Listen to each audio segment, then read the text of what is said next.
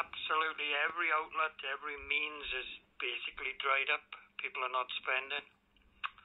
I managed to sell a few things, make nativity sets and uh, uh, trying to sell my guitars and uh, a banjo I made and um, I got a cigar box guitar I worked on for three years, all the inlay stuff.